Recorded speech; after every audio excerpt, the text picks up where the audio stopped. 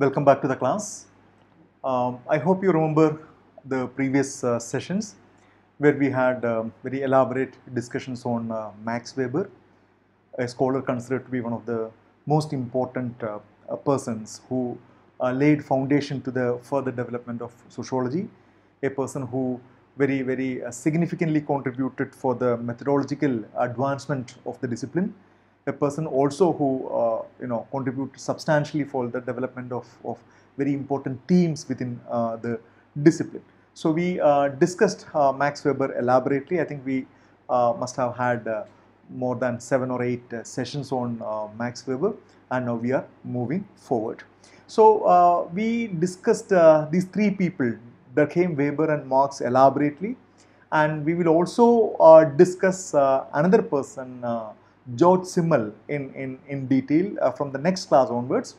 And uh, after that, uh, we will have a look at a couple of thinkers in short. That means uh, uh, we will not spend as much time that we as we dedicated for the discussion on Marx, Durkheim, and Weber, because they are considered to be the, the, the, central figures in classical sociology. But we will touch upon these scholars uh, in a rather brief manner in, in comparison with the Uh, you know, with the, with the time that we spent in analyzing these three people. So before in the next class, we will be starting with uh, George Simmel, another very important uh, German uh, sociologist, uh, whom we will we might take maybe three three classes, three sessions to understand Simmel's arguments, Simmel's contributions, and his overall arguments about social conflict, his arguments about the form and content of sociology, his arguments about pure sociology, and more importantly his uh, study about the, the, the, the, the economy and, and then circulation of money. But before that, let me uh, uh, take this opportunity, take this particular session uh, to discuss Ferdinand Tönnies, another very uh, important uh, scholar.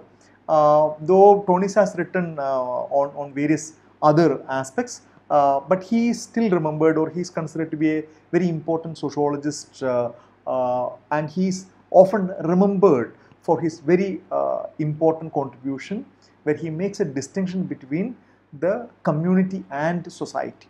So that particular distinction, the community and society, Gesellschaft and, and Gemeinschaft is, is something so central uh, even to the contemporary sociology thinkers because that is something important. So that is why I thought that I, we will have one session discussing the core argument of uh, Ferdinand Tönnies, uh, again a German uh, sociologist born in 1885 and passed away in 1936. So uh, we are not uh, discussing uh, his other arguments because many are kind of controversial, many are have lost its their their you know relevance, many are no longer discussed in the contemporary sociology. But this particular work, which was published in 1887, titled the uh, Gemeinschaft und die Gesellschaft. Uh, it, it's titled, uh, it's written in Germany, in German language.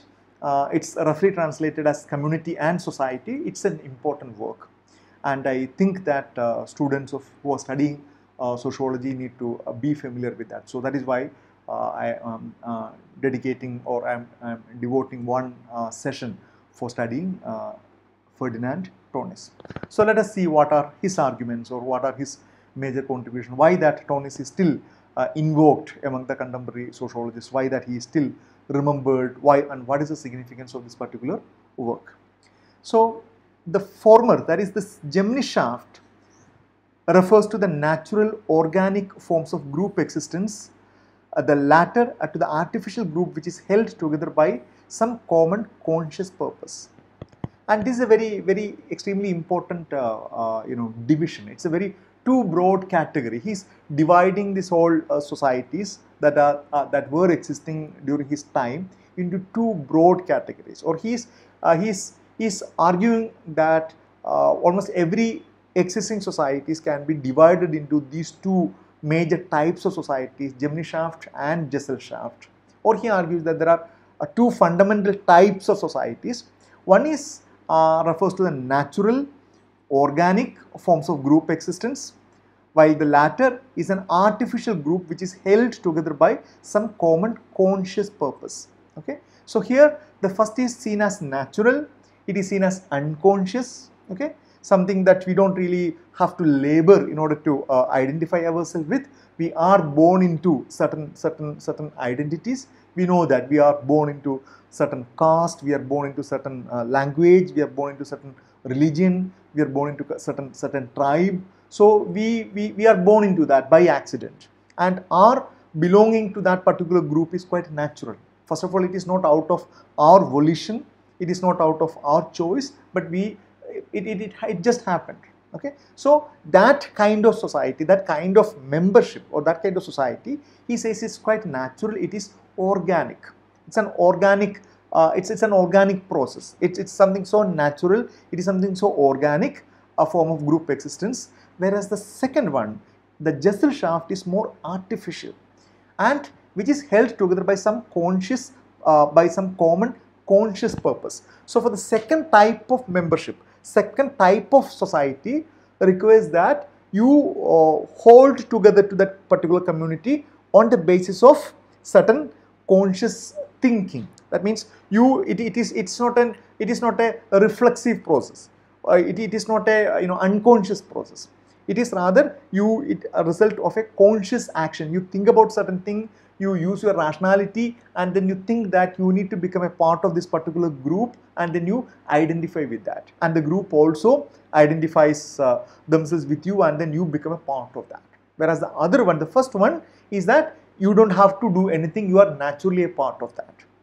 So he argues that this so that is what he makes this distinction between community and society. Society he argues is the result of some common conscious purpose society. Whereas community is more natural it is something more uh, organic it is something more spontaneous. You are born into certain thing and you feel quite at home. So Tönnies uh, further elaborates that the community grows out of the organic relationship of man uh, to his environment and those natural involuntary bonds that inevitably grow up between human beings and between groups.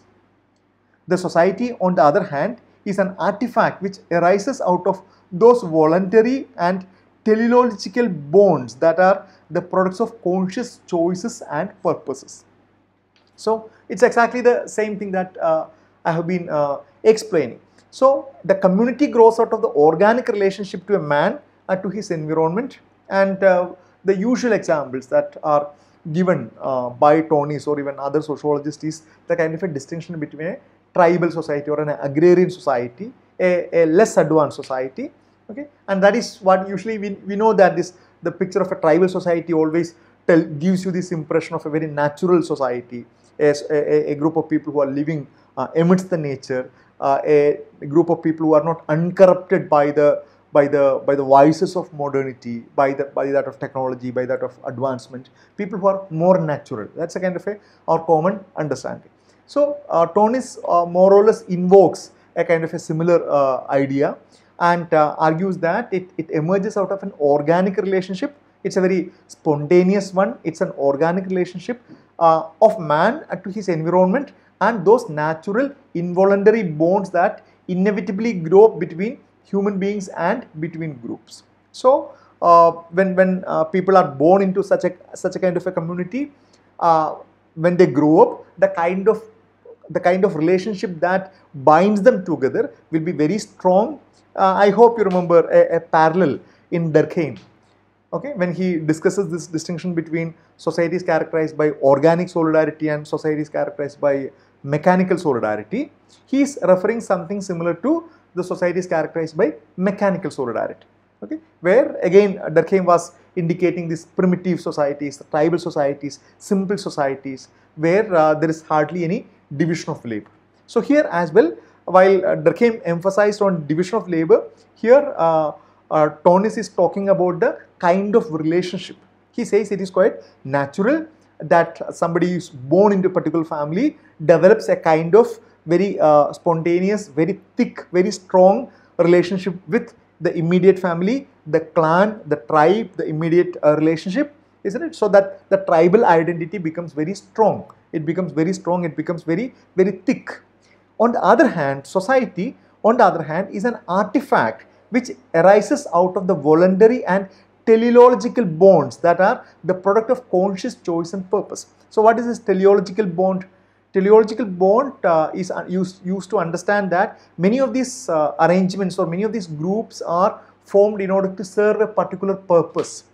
Okay, so this very existence of this particular group is justified, is explained on the basis of the purpose is supposed to uh, fulfill after some time. So that is a kind of a teleological argument uh, and, and uh, quite a lot of functionalist argument, structural, structural functionalist argument is, is, is, is having a teleological problem because they tend to explain the functions of a group or the structure of a group on the basis of the function that it is supposed to have fulfilled. Okay, so on the on the basis of an effect, you uh, try to explain the cause of its existence. So so that's a kind of a teleological explanation. So uh, society, Tönnies argues that it is an artifact, it is an artificial creation. Okay, it's not something natural, it's not something spontaneous.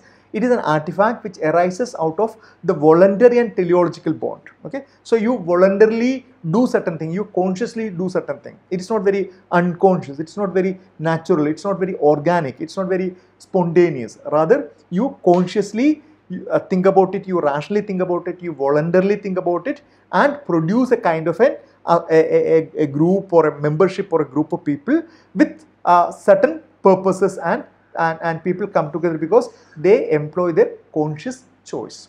So this these are the two maybe if you borrow Weberian uh, term these are the two major ideal types that uh, Tönnies creates in order to uh, differentiate uh, Gemeinschaft uh, from Gesellschaft. The community arises out of what Tönnies calls a common Wesenwillen or those life force associated with the instincts, emotions and habits. Society rests on common Kürwillen which unlike the former is characterized by the predominance of deliberations and conscious choice over the striving roots, uh, strivings rooted in man's nature. Another uh, very interesting set of uh, you know Uh, topics and, and, and concepts are brought in here. So he talks about Gesellschaft, Gemeinschaft and Gesellschaft and here he says that this Gemeinschaft, the community arises out of what Tönnies calls a common Wesenwillen or those life forces associated with the instincts, emotions and habits. Okay, something connected with the human body, something connected with the, the world of emotions. Okay, and, and this is something very important because uh, he argues this community is connected with the world of emotion whereas uh, the society is, is, is connected with uh, the world of reason or rationality.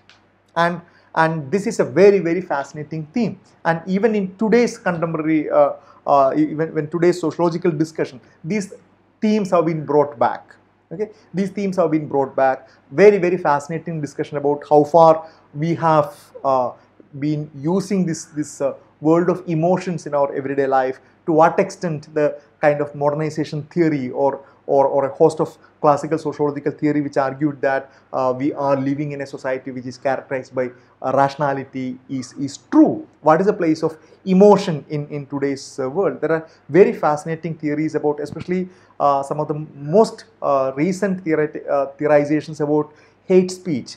they use the term extreme speeches that you come across in, in, in, in Facebook or in you know Twitter or in in, in propaganda, in, in, in a host of in trolling in the internet and in, in, Facebook. So there are very interesting theorizations why that there is this, this extreme speech becoming becoming quite quite uh, evident or become quite commonplace in the contemporary society. And there are very fascinating theorization by invoking this whole role of emotions that uh, which we believed that when we progress over a period of time we would be able to master these emotions and we would be able to speak from the platform of rationality. So when we it is it is assumed that when we when we invoke rationality we have mastered emotions. We don't invoke emotions. We keep emotions away because emotions are something supposed to be used only in your private personal realm. Whereas when you talk in public when you engage in public you are supposed to be a perfectly rational uh, organism which which uses only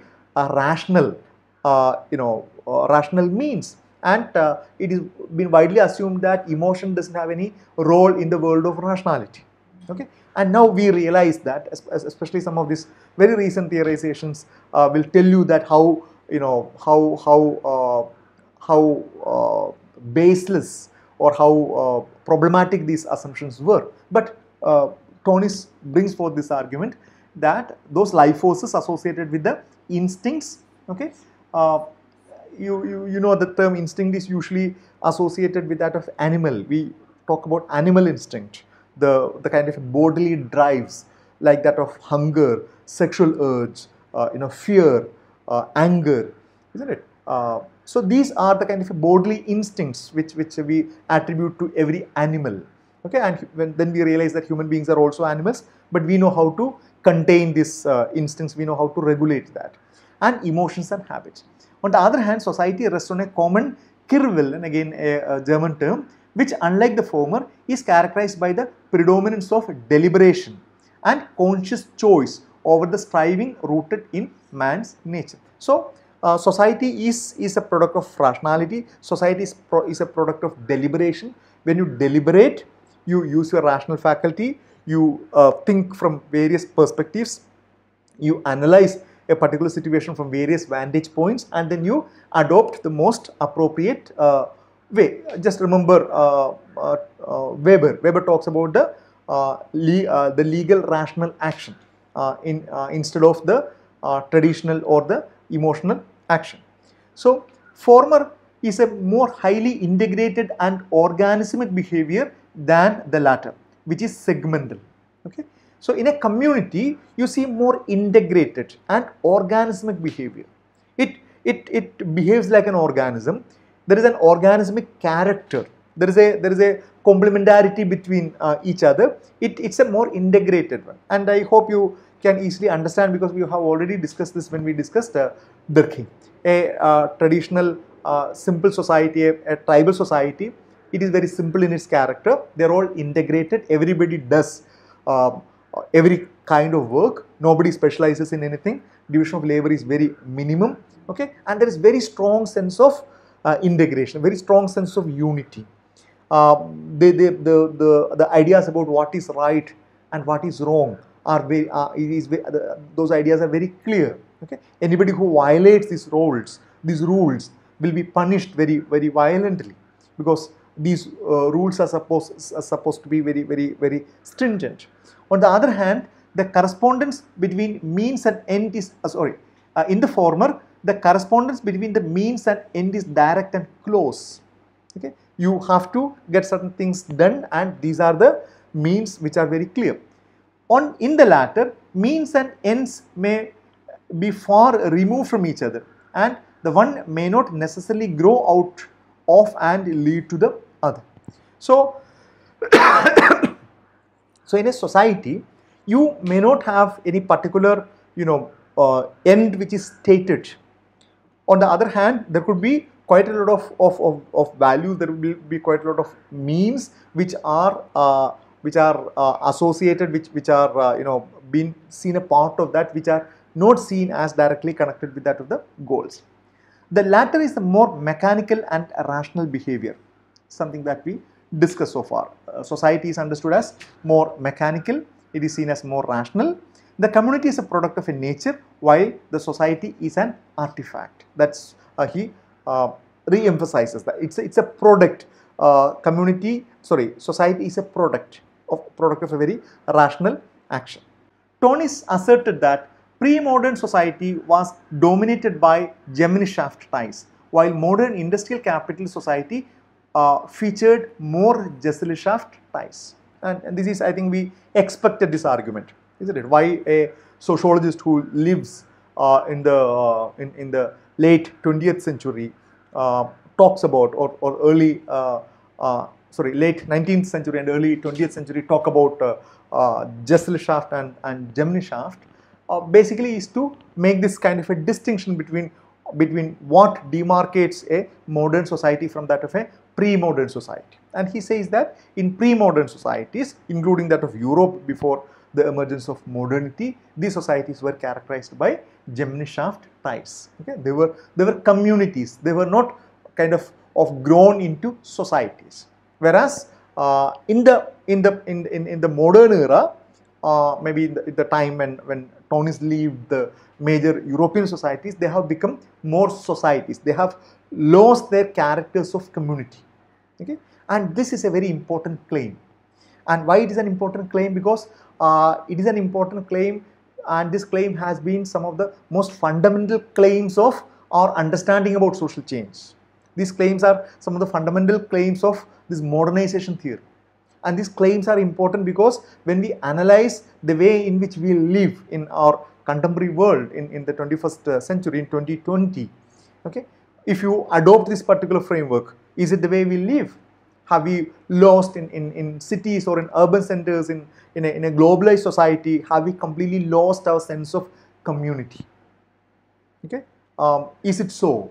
Or are we trying to create different forms of community? Are we all living in a very rational, deliberately, uh, you know, a, a, a, society which is completely driven by deliberations and, and rational exchanges and other things? So these Gemeinschaft relations were maintained in the context of private sentiments and loyalty rather than simply productivity in the marketplace. Okay, uh, these Gemeinschaft relationships were maintained in the context of private sentiment and loyalty. We know that uh, how uh, in, in feudal societies, for example, or in, in uh, agrarian societies, how uh, various social institutions functioned.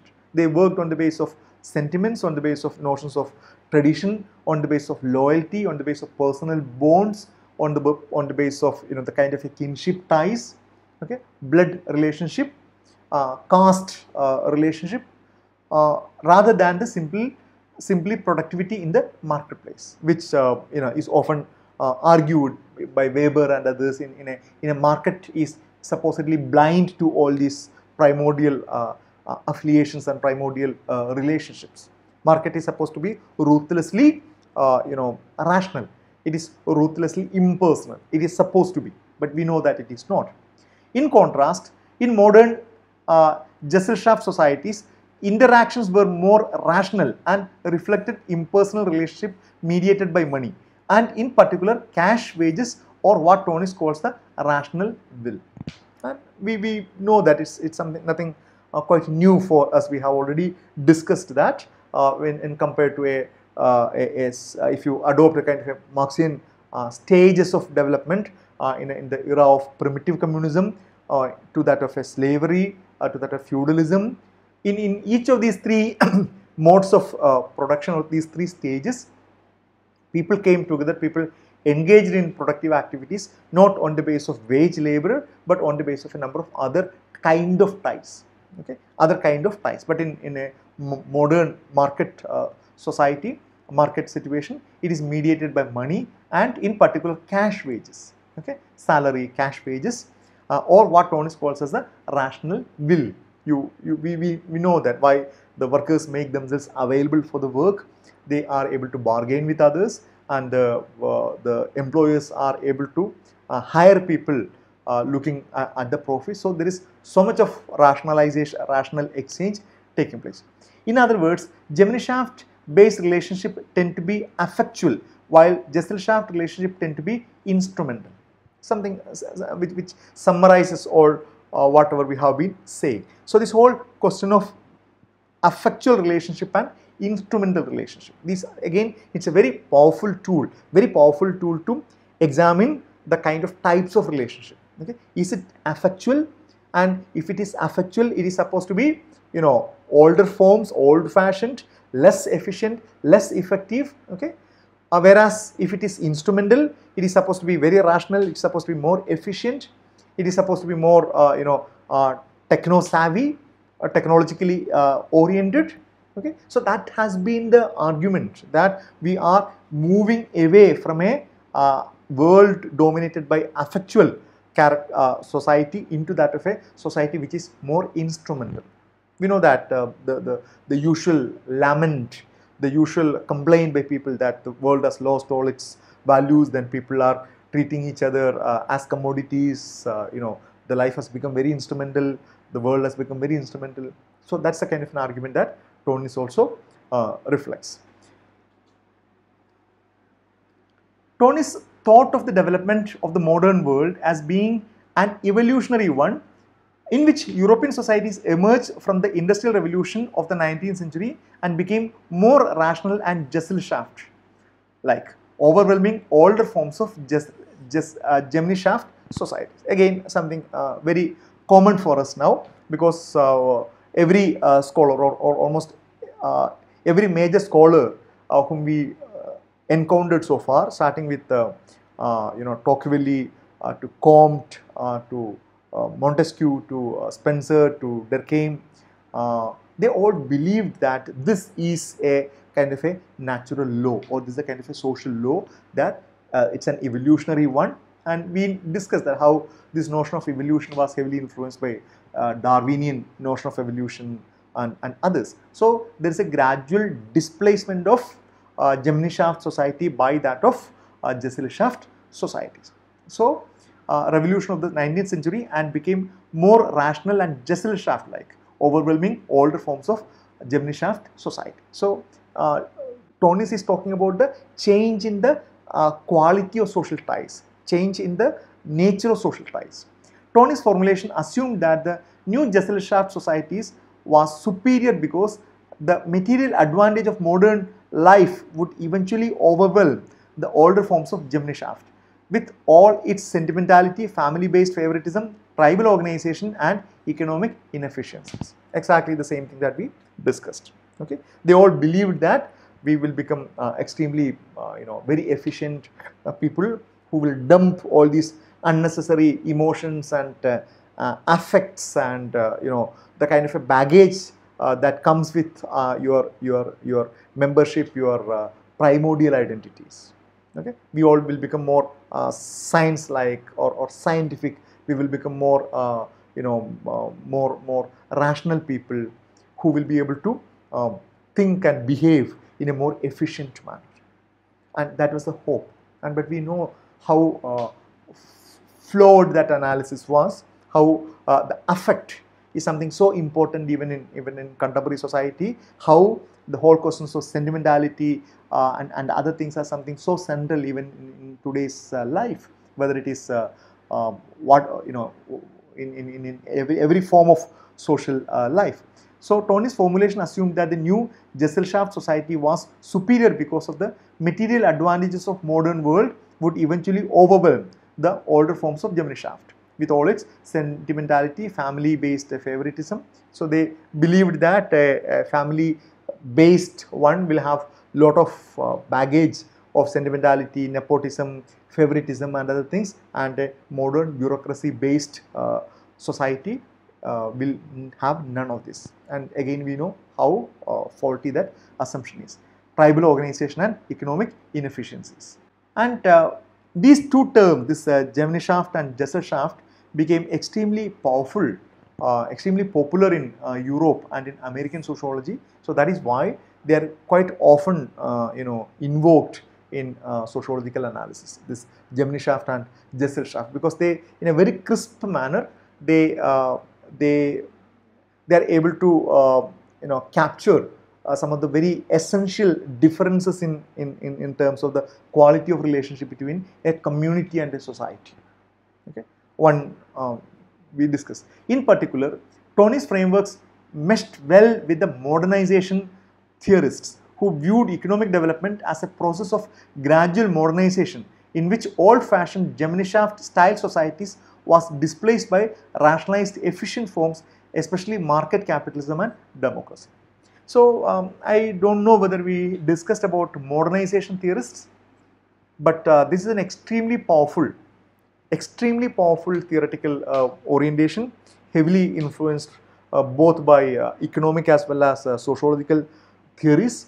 Uh, especially the sociological theories of modernization were heavily influenced by all these people starting with Comte, Spencer, Durkheim, uh, Marx and uh, Tönnies, all these people, they, they all believed that the process of modernization is unstoppable and in the process of modernization you will bulldoze all the older forms of existence the, from a traditional society to a modern society. Okay? The, there are arguments about the leap, the, the, the jump, the sudden jump from traditional society to the modern society. So all that is traditional would be withered away. It will be it will wither away. All that is uh, traditional, all that is old uh, will, will will simply disappear, and a new modern world will uh, emerge.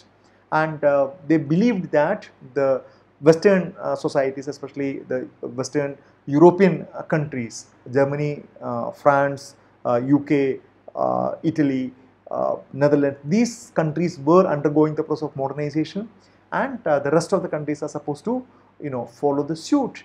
They believe that that is an inescapable process. Okay? So they believe that from a plethora of different forms of existence, uh, uh, you know, uh, different forms of social organization, every society is supposed to lead to this particular mode of development. So that is why our understanding of development was heavily influenced by this modernization theory. Okay? What constitutes development? How, do, how can we imagine development? Development is a very, very important term, extremely important term. Until maybe 1970s, uh, the term development was never problematized. So what do we mean by problematized? Till 1970s, there was no debate about development.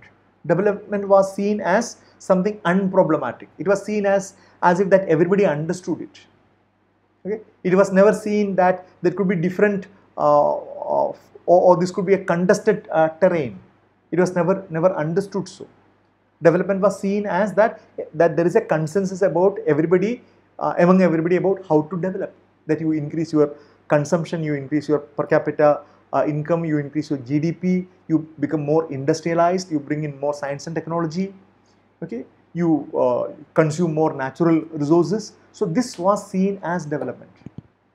And uh, after 1970s, by 80s, by 90s, this term became extremely contested on, on various grounds. I am not going into the into the details. Okay. Now later we realize that this term development is a very problematic term. It's a very problematic term that uh, people can live differently. Okay people can have different ideas about living uh, peacefully uh, leading living with, with with a sense of fulfillment. Okay and we don't or there is no singular uh, mode of development. But if you look at the policy formulations if you look at the the, the, the power of this particular concept the influence of this particular concept it is something so so gigantic something so so so so powerful it's so so hegemonic this this Western notion of development. And, and, and that has heavily influenced uh, the, the trajectory of the West. It has influenced the trajectory of, of, of colonial societies. It has influenced, in fact, influenced the trajectory of, of almost every society. Okay? So in that theorization, this modernization theory played a very significant role. Because modernization theory, just like that of uh, arguments by Tönnies, provided sociological explanation or sociological justification for the uh, for the uh, notion of development. That that uh, the whatever is there in the tradition everything is bad everything is inefficient everything is so sentimental everything is so you know uh, obscurantist and you need to dump all, the, all of them. You need to move into a modern society. And now we realize that that that that that particular assumptions were very flawed.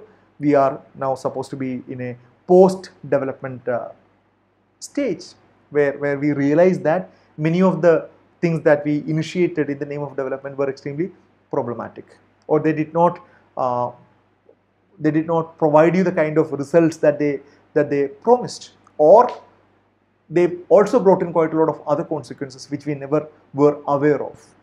And there are very very fascinating theorizations about uh, that about uh, late modernity, about uh, you know post-modernity, about uh, liquid modernity, about risk society, that this modernization has brought in its own uh, set of risks which we never anticipated and which we were never kind of ready to face. So Weber uh, accept now let's see how uh, Weber looked at it. Weber, Max Weber accepted Tönnies's basic distinction but he emphasized that both types of societies actually coexisted albeit uncomfortably. Weber saw this coexistence in pre-modern societies where the Gesellschaft was small and Gemeinschaft was all-encompassing. But most particularly, Weber saw coexistence in modern society where the Gesellschaft seemingly overwhelmed underlying Gemeinschaft values. So Weber is far more sensitive than many of these people who, you know, very mechanically, who produce their version of a mechanical kind of a social change, where one type of society is completely obliterated and a completely new society come into picture. Even uh, in Weberian argument about power or authority, he doesn't say that the traditional forms of power completely disappears. He only says that the modern legal rational kind of power becomes more dominant. So here as well, Weber says that in a modern society, it doesn't mean that all the characteristics of a Gemeinschaft society disappear. It doesn't so it, it doesn't do rather the more dominant form of society becomes that of Gesellschaft. So that is why uh, he says, but most particularly Weber saw coexistence in modern society where the Gesellschaft seemingly overwhelmed underlying the Gemeinschaft, uh, underlying Gemeinschaft values. Uh, another, so th this is the central uh, theme of uh, uh, Ferdinand Tönnies, his distinction between Gesellschaft and Gemeinschaft or the distinction between community and uh, society. Now let us move to his another more, kind of a more minor intervention. He um, thought about three major divisions of sociology, or three, three, three, bro three broader you know divisions within sociology one is pure applied sociology and empirical sociology. So the pure sociology uh, includes the fundamental concepts of community and society as we discussed so far and that is his central thesis. The study of social interactions or structures, yeah, again uh, by, by the time of Tönnies and uh, Simmel at least uh, or, or by the time, time of Weber for that matter, we know that sociology had become more established uh, scholars across the spectrum uh, came to the kind of a consensus that there is a new discipline and this new discipline has its own uh, subject matter, exclusive subject matter and, and that subject matter is nothing but social interactions and social structures. And the study of the social norms uh, forming the content of the structural forms which are the social realities. So uh, here you come across this term form, uh, the social norms forming the content the so this whole distinction between the form and content which we will uh, come across again in when we discuss uh, uh, Ferdinand uh, sorry, George Simmel in the coming class. So he's talking about what is the content of the structural form which are all the social realities. The study of the social values inhering in the social realities or structural forms. So it's not only the kind of a of, of, of the, the form or the structure but also the content, the, the kind of a values and uh, you know that how values was brought in into the uh, ambit of sociological exploration basically through uh, Weber. The study of the constellations of the relations arising out of the interaction between the various social realities or uh, structural forms and this is nothing but the kind of social change what are the kind of a new uh, relations or the kind of major changes that are happening uh, as a result of the interaction between various social realities or structural forms. So, in other words, the, the major uh, profound thematic areas of sociology calls it as pure sociology. And applied sociology is uh, for uh, Weber is economics, politics and mental life which include art, morals and science constitute the field of applied sociology in the sense that here the fundamental concepts of sociology are illustrated and find application to concrete materials. So here he talks about how uh, other disciplines make use of uh, sociological concepts for the kind of a into concrete uh, situations. For example, how uh, you know one of the very important uh, discipline which uh, has not formed during Tönnies' time is social work. So social work is supposedly a kind of an applied sociological kind of a discipline. It, it, it uh, social work aims at intervention. Uh, social work aims at policy interventions as well as intervention in the community, intervention in, in a kind of a concrete setting. So empirical social applied sociology is uh, you use you apply the sociological principles into the concrete reality. For example, uh, your sociological understandings about about crime and law. Okay? And how can you use these sociological understandings in a prison for example? Or how can you use this understanding in order to reframe the existing laws about uh, child delinquency in a particular uh, place? Or so, sociological understanding about divorce. How can you use uh, or sociological un- understandings about family and marriage?